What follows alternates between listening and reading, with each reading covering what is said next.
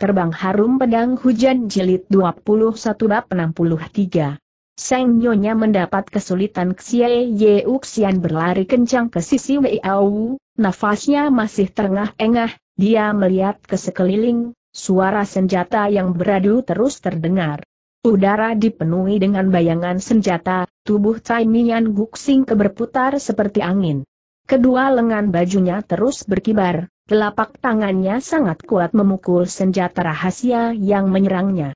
Senjata rahasia itu mempunyai efek sangat kuat, senjata rahasia itu terkadang terlihat menyerang maju terkadang mundur. Terkadang ke kiri tapi sebenarnya menyerang ke kanan. Menyerang ke atas tapi tiba-tiba saja menyerang ke bawah, siapa pun tidak akan mentiganya.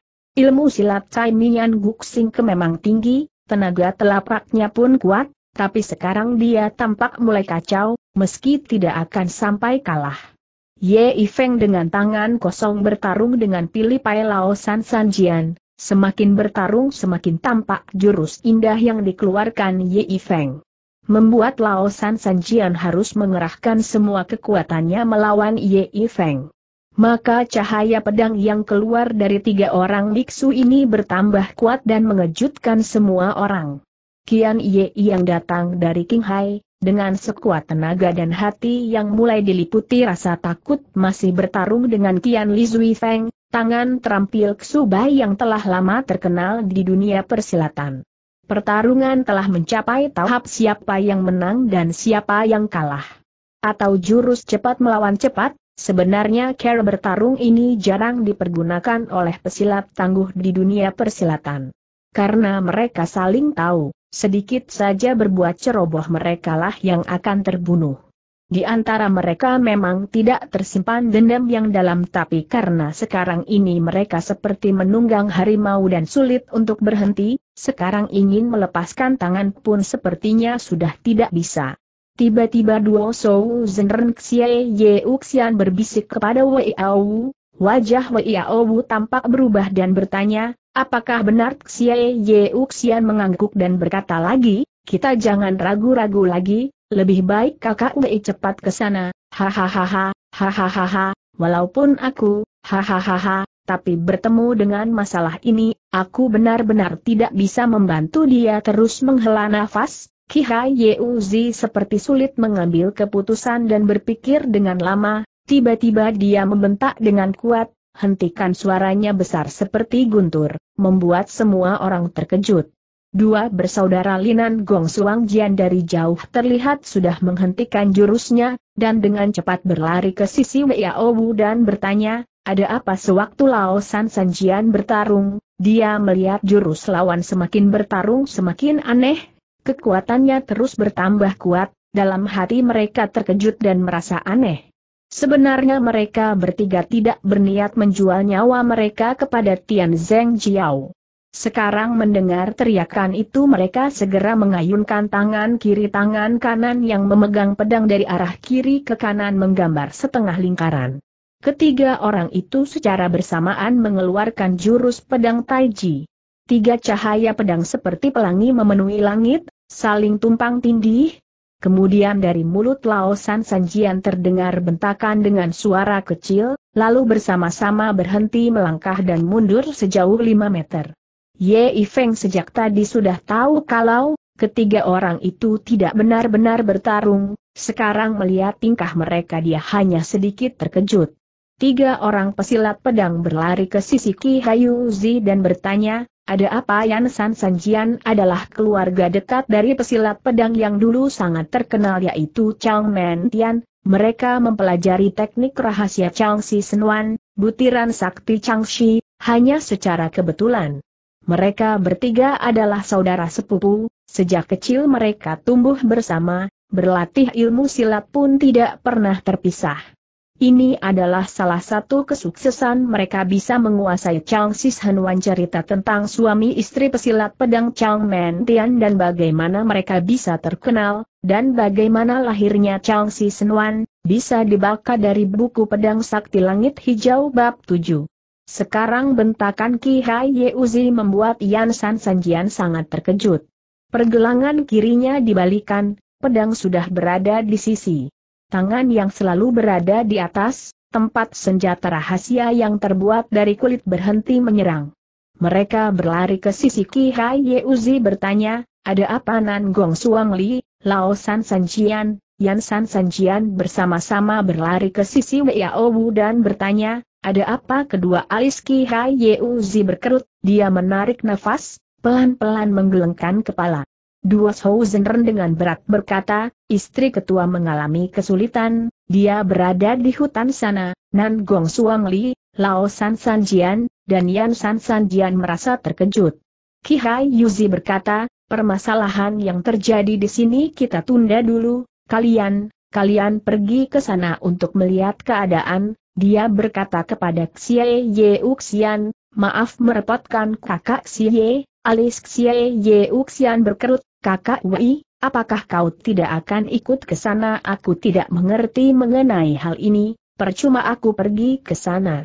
Kakak Xie titik aku kira kau lebih mengerti banyak dibandingkan aku metuk Xie Ye Uxian terus melihat wajah Wei Au, akhirnya dia menghentakkan kaki dan berkata, ayo ikut aku dia berlari masuk ke hutan. Melihat sikap Xie Ye Uxian dan Ki Hai Ye Uzi, Nan Gong Suang Li, Lao San Sanjian, dan Yan San Sanjian merasa aneh. Mereka tidak mengerti mengapa istri ketua bisa mendapatkan kesulitan, mengapa Ki Hai Yeuzi seperti ketakutan dan terus tertawa kecut, sepertinya mereka bakal menghadapi hal-hal yang sangat sulit dikatakan. Wan Tianpin yang dari tadi terkurung oleh Chang Si Senwan sekarang tangannya bisa menyapu senjata-senjata rahasia. Dia melihat murid-murid Tian Zeng Jiao tiba-tiba pergi. Dia berbalik melihat Ye Feng. Ye Feng juga terlihat kebingungan. Di dalam hati mereka bertanya-tanya, perangkap apa lagi yang sedang dibuat orang-orang Tian Zeng Jiao tiba-tiba. Tangan terampil Ksubai membentak dengan suara seperti guntur. Roboh berikutnya terdengar beberapa kali bunyi kemudian terdengar suara Kian Ye yang tajam dan tinggi, berkata dengan tawa dingin, belum tentu. Wan Tianpin dan Ye Feng bersama-sama melihat. Kian Ye dan Ksubai sudah berhenti bertarung dan saling memandang, saling berhadapan.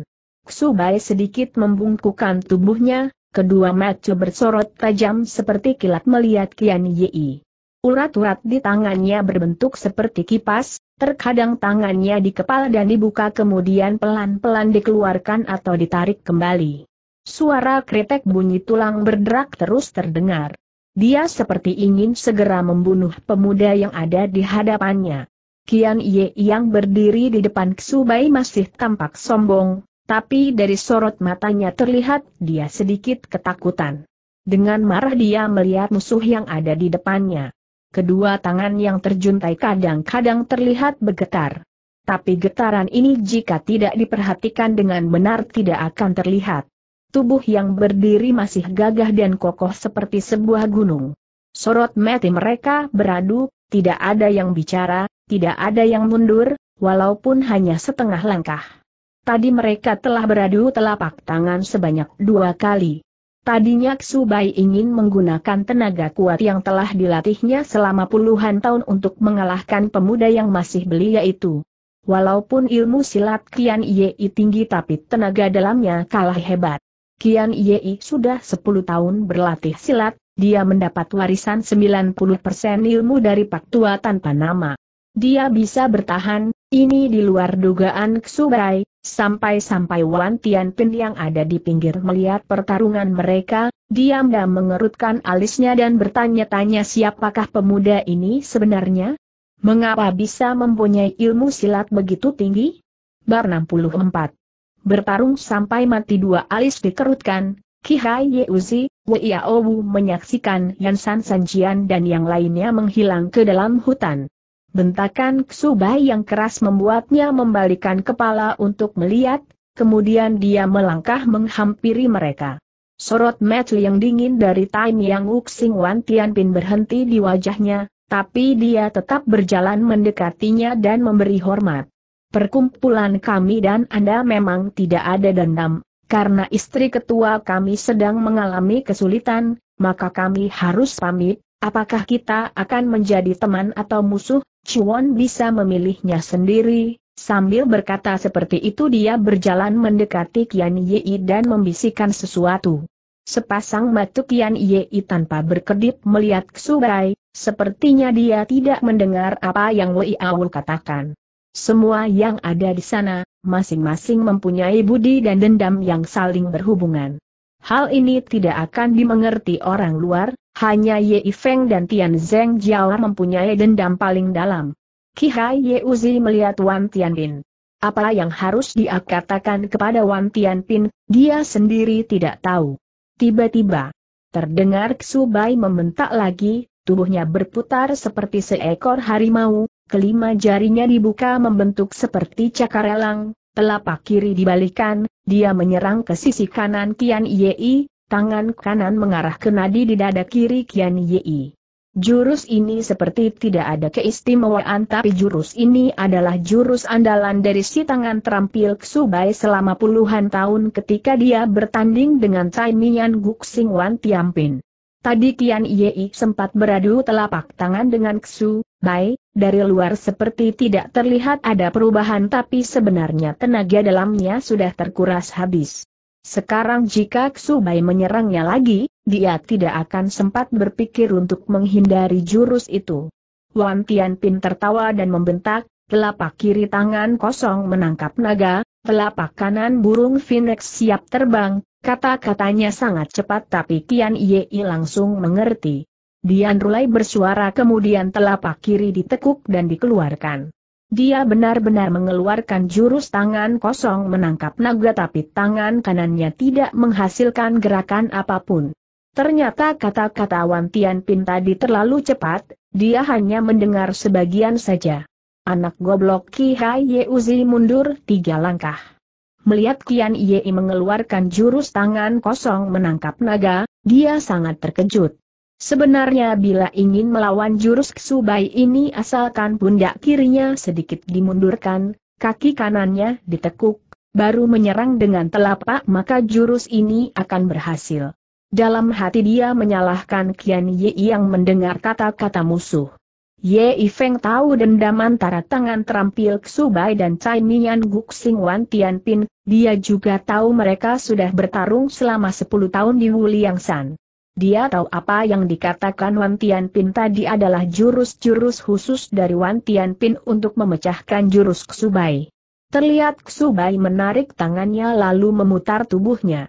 Dia menarik kembali tangannya yang akan menyerang. Jika Kian Ye mengikuti kata-kata Wan Tianpin, kakinya maju ke kanan dan berhenti di tengah, dia pasti akan menang dalam pertarungan ini. Kihai Yeuzi dengan aneh melihat Tian Yei kemudian melihat Ksubai. Benar itu adalah jurus tangan kiri menangkap naga, tangan kanan siap terbang.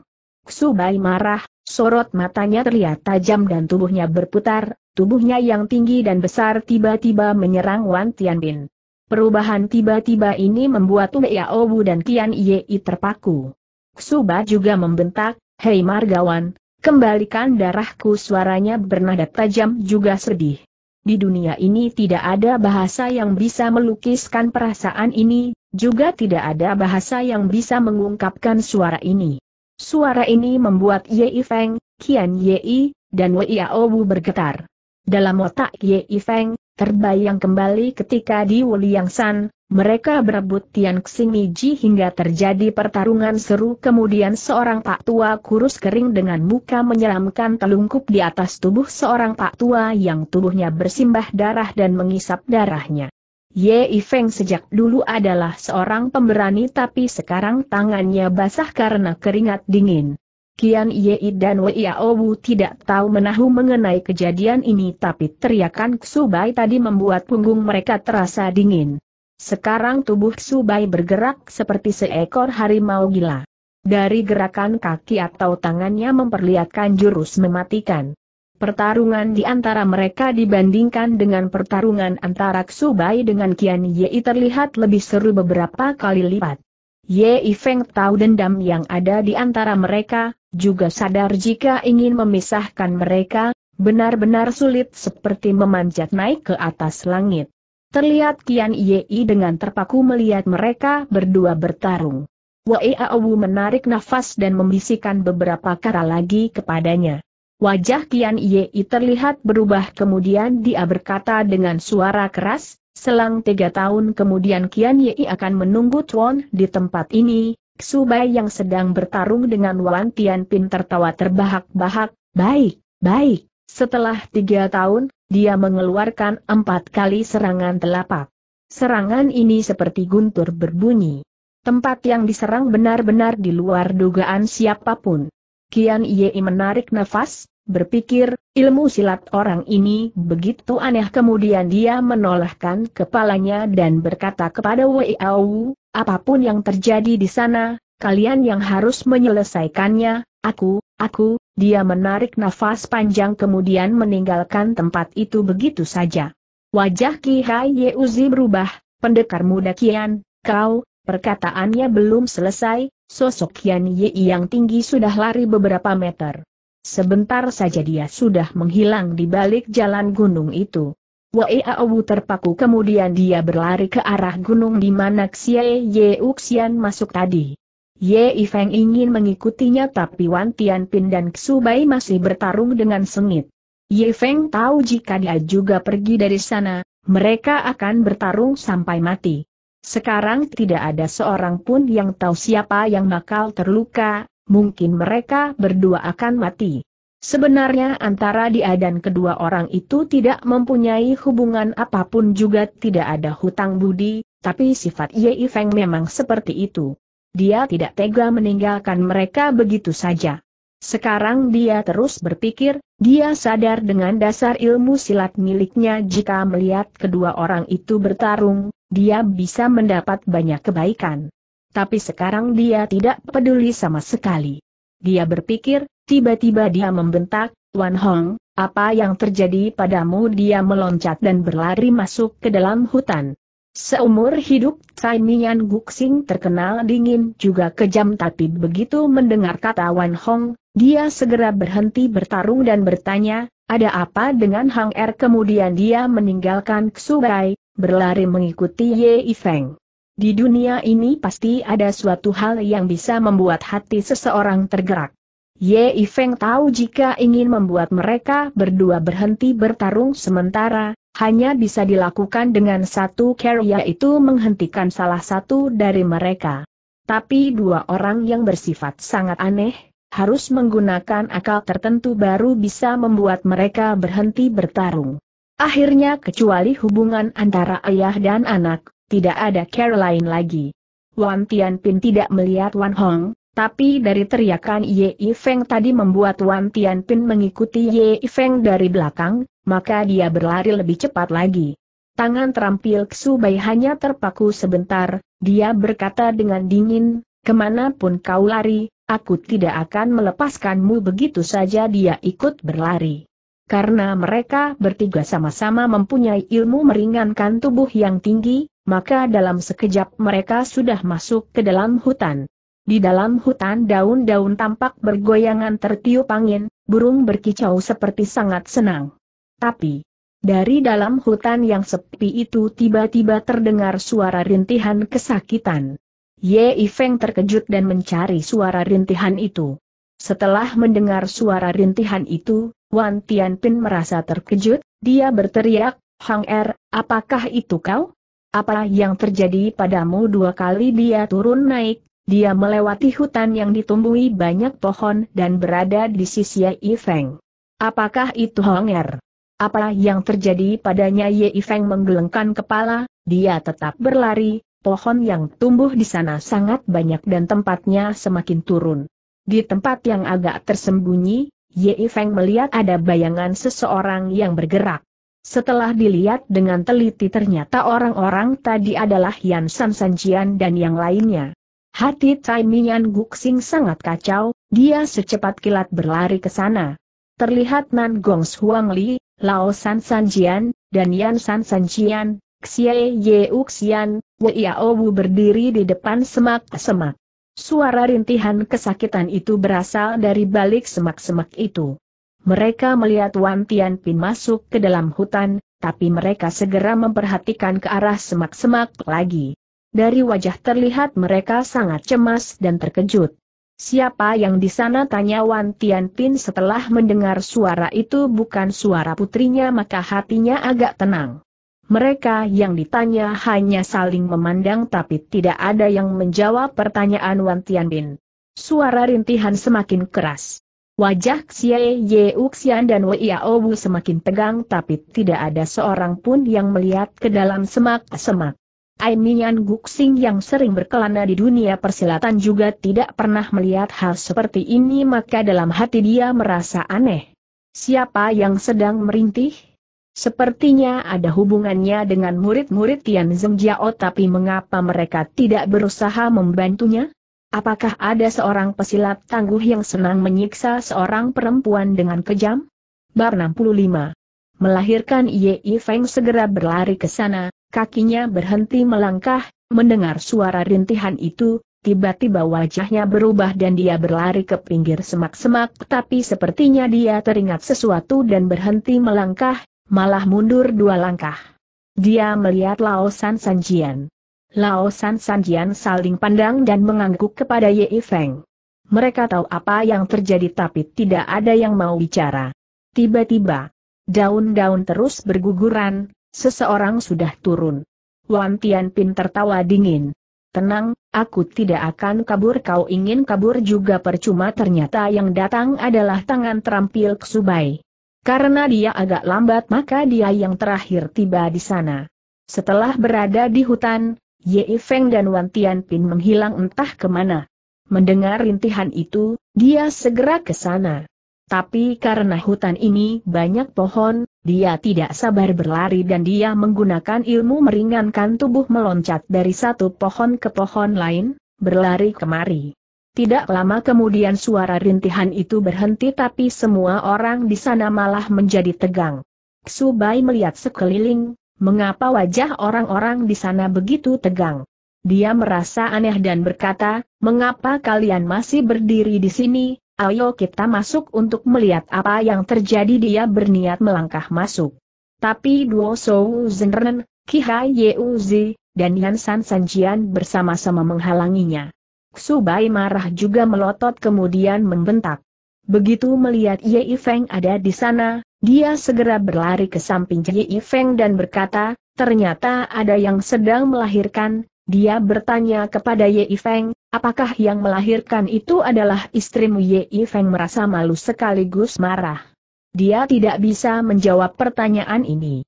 Duo Shou Zhenren membentak, jika ada orang yang tidak menghormati istri ketua kami, dia akan celaka tanpa kecuali, Wan Tianpin dengan dingin berkata kepada Ksubai, hal yang terjadi belum kita selesaikan, kau malah menanyakan tentang orang lain, Benar-benar bodoh kedua tangan Ksubai terkepal, pelan-pelan dia berjalan ke depan Wan Tianbin.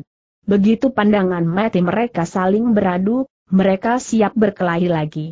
Kihai Yeuzi tertawa dingin, di tempat di mana seorang perempuan akan melahirkan kalian malah bertengkar, apakah kalian adalah laki-laki sejati? Terdengar rintihan lagi, semua orang memang cemas tapi tidak ada seorang pun yang mau maju sekalipun hanya selangkah. Jantung Ksubai berdebar-debar, dia seperti sedang menahan amarahnya kemudian dia membentak kepada Wan Tianpin, urusanmu dan aku belum selesai, untuk apa kau berdiri di sini? Ayo kita keluar berkelahi Ki Hai Yeuzi tertawa dingin, benar. Benar. Di sini tidak ada urusan penting lagi, lebih baik kalian pergi saja semua orang bicara dengan pelan dan berbisik-bisik karena tidak ingin mengganggu orang yang sedang melahirkan. Tiba-tiba, dari dalam hutan ada yang tertawa. Juga terdengar ada suara perempuan yang sedang marah-marah kemudian sosok seorang perempuan langsing, dengan cepat masuk ke dalam hutan melihat banyak orang di sana dan sepertinya mereka tidak terkejut dengan kehadirannya, dia berhenti berlari kemudian melihat, dia bercanda dengan anak yang ada dalam gendongannya yang sedang tertawa dengan senang. Tapi orang-orang di sana ketika melihat perempuan ini, diam-diam merasa terkejut karena perempuan ini langsing dan bergerak dengan ringan tapi baju yang dipakainya terlihat compang-camping. Begitu melihat wajahnya, semua orang menghembuskan nafas. Orang-orang itu sudah biasa berkelana di dunia persilatan dan sudah banyak pengalaman, tapi tidak ada seorang pun yang pernah melihat wajah yang begitu jelek. Melihat orang ini, wajah Cai Mian Guyong berubah. Dia mundur dua langkah. Kihai Yeuzi berusaha menenangkan diri dan membentak, siapakah Nona? Mengapa menggendong anak ketua kami perempuan ini seperti tidak mendengar kata-katanya? Begitu Ye Feng melihat wajah perempuan ini, dia seperti disambar geledek, tidak bisa bergerak. Setelah bisa menenangkan diri, dengan cepat dia berlari ke depannya dan memegang pundaknya berkata, Nanpin, apa yang terjadi padamu? Ternyata rambutnya yang panjang dan acak-acakan, bajunya compang-camping, dan wajah sangat jelek adalah milik seorang gadis yang dahulu sangat cantik, sombong, bersih, anggun, dan sangat perasa, dia tidak lain adalah Xiao yang Feizik Xiao Nanpin. Sekarang dia dengan bengong melihat Ye Feng, dari matanya seperti ada cahaya kegembiraan dan kesedihan tapi segera berubah menjadi kebingungan. Dengan dingin dia berkata, siapa kau tangan kirinya menggendong anak itu lebih erat kemudian tangan kanannya menepiskan tangan Ye Feng jauh-jauh. Ye Feng terpaku, dia sedih juga menyesal. Dari luar hutan ada yang berlari masuk ternyata seorang perempuan lagi. Dia membentak, perempuan jelek, mengapa kau merebut anakku sorot Metuan Tianpin bergerak, tubuhnya bergerak cepat seperti angin, dia berlari ke depan perempuan itu dan mencengkram pergelangannya. Ayah teriak perempuan itu Wan Tianpin marah, apakah kau juga sudah gila dia menarik tangan Wan Hang untuk pergi dari sana. Subai berteriak di belakangnya, kau mau ke mana dia ikut berlari. Ye Feng bengong melihat kelakuan mereka, Nanpin, kau istirahatlah dulu, biar aku yang menggendong anak itu sorot metuk Xiao Nanpin terlihat bingung, tapi tiba-tiba dia tertawa, kau menginginkan anakku, aku tidak akan memberikannya padamu, Duo Shou Zhenren, Lao San Sanjian, Yan San Sanjian, Nan Gong Suang Li, dan Kihai Ye Uzi Wei Au, Melihat Ye Feng kemudian melihat perempuan jelek dan seperti orang gila mereka kebingungan. Di balik semak-semak terdengar tangisan bayi. Wajah semua orang di sana berubah, Xiaonan Pin tertawa dengan senang, masih ada satu anak lagi, dia sudah berlari masuk ke dalam semak-semak. Karena dia mengalami tekanan batin yang berat, maka jiwanya mulai terganggu, dan menjadi gila. Setelah dia melemparkan cermin yang terbuat dari tembaga ke atas batu, dia berlari ke gunung. Setiap hari kerjanya hanya menangis, setelah menangis dia mengelilingi gunung itu. Dia tidak tahu apa yang harus dia kerjakan sekarang. Setiap hari dia hanya berjalan dan berjalan. Hari ini tiba-tiba dia bertemu dengan Wan Hang yang sedang menggendong seorang anak dan berlari dengan kencang. Walaupun dalam keadaan setengah gila, dia masih bisa mengenali Wan Hong. Dia segera menghadang Wan Hong. Karena terkejut, anak yang ada dalam gendongan Wan Hong segera direbut olehnya. Orang yang jiwanya terganggu sering kali mencari sesuatu untuk menghiburnya. Sekarang yang dianggapnya bisa menghibur adalah anak itu. Begitu mendengar ada suara tangisan bayi dari semak-semak, dia segera berlari ke sana. Kihai Yeuzi dan yang lainnya berniat mencegahnya tapi sudah tidak sempat. Bar 66 Tewas Ye Feng melihat bayangan belakang Xiao Nanpin, dalam hati dia benar-benar tidak enak. Dia menarik nafas sambil melihat sekeliling, terlihat murid-murid Tian Zeng Jiao berkumpul di depan semak-semak, tidak ada yang berani masuk. Dari semak-semak terdengar suara tawa Xiao Nanpin, bayi yang putih dan gemuk, Sangat lucu, sangat. Ketika dia bicara, suara terdengar dekat tapi terakhir suaranya sudah jauh. Tampak dia membawa bayi yang baru lahir itu pergi dari sana. Ye Feng terkejut, merasa aneh, dan berpikir, murid-murid Tian Zeng Jiao melihat anak ketua mereka direbut Nanpin, mengapa mereka tidak berani mendekat? Walaupun mereka sungkan tapi tidak harus seperti ini. Dia kembali berpikir, putranya dibawa oleh Xiao Nanpin yang sudah setengah gila, dia merasa cemas, mana ada waktu memikirkan orang lain. Wajah Ki Hai Yeuzi bergerak, matanya berkedip, Dia bertanya, Nyonya, apakah Anda baik-baik saja? Kami ada di sini menunggu. Nyonya tidak perlu merasa khawatir, begitu Nyonya sudah bersih-bersih kami akan masuk untuk membereskan semuanya, selesai bicara, dia mundur ke bawah sebuah pohon untuk duduk dan beristirahat. Semua mengikutinya. Kedudukan Ki Hai Yeuzi di Tianzeng Jiao adalah tertinggi, jika dia hanya melakukan ini, orang lain pasti tidak akan berani sembarangan bergerak. Sekarang Ye Feng tidak tahu bagaimana rasa hatinya. Dia ingin mengejar Xiao Nanpin tapi kakinya tidak bisa melangkah. Dia berdiri di bawah sebuah pohon dan terpaku. Angin bertiup ke dalam hutan membuat daun-daun terus bergoyangan.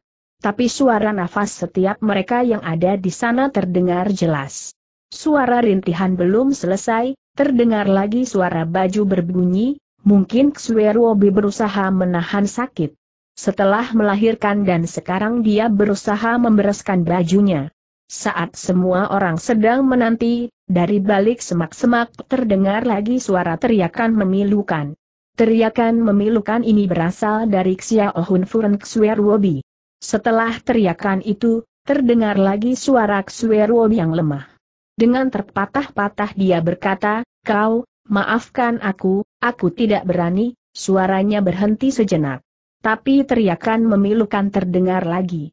Semua orang terkejut mendengar suara ini. Ye Feng tidak tahan lagi, dia menyibak semak-semak dan berlari masuk. Yan San Sanjian dan Duo Shou Zhenren mengikutinya masuk. Terlihat di balik semak-semak itu ada sebuah tempat sekitar 3 meter persegi. Di bawah penuh dengan darah. Xueruobi sedang meringkuk di bawah. Seseorang berbaju hijau muda lari keluar dari sana melewati celah-celah pohon. Yan San Sanjian dan Duo Shou Zhenren bersama-sama berlari mendekat Xuerwobi. Begitu mereka melihat keadaan Xuerwobi, wajah mereka segera berubah dan berteriak kemudian dengan tergopoh-gopoh mundur tiga langkah. Ye Feng curiga dengan orang itu, tapi setelah mendengar teriakan mereka, dia menoleh. Wajahnya juga berubah dan dia ikut berteriak kemudian mundur tiga langkah. Ternyata Xia Ohun Furen Xueruobi terbaring di bawah berlumuran darah, kedua matanya terpejam. Wajahnya pucat seperti kertas, dia tidak bernafas lagi. Pisau yang menancap di dadanya masih tetap seperti tadi. Darah merah mengalir melalui lubang pisau.